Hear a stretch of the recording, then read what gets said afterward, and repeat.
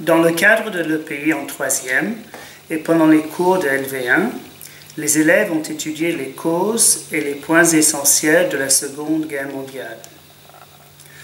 Au mois de mars, et comme temps fort de l'EPI, les élèves ont passé deux jours sur les plages du débarquement, voyage organisé par le professeur d'histoire.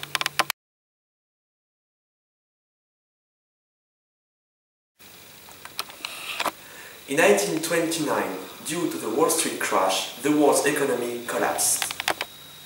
Germany was particularly affected. Money was worthless.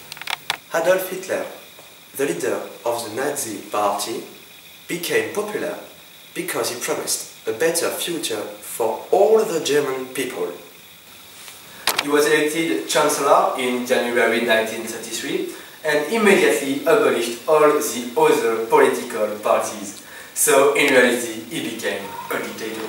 Hitler began to produce weapons in factories and he formed a big army and he annexed other European countries such as Austria and Hungary. European leaders became extremely worried and met Hitler at the Munich conference in 1938 where he promised not to attack the West. However, in September 1939 he attacked and invaded Poland.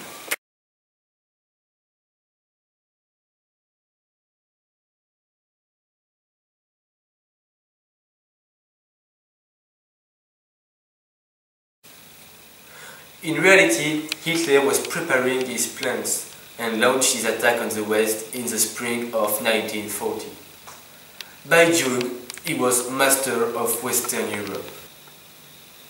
The Battle of France was over, the Battle of Britain was about to begin, and Churchill declared, We shall never surrender.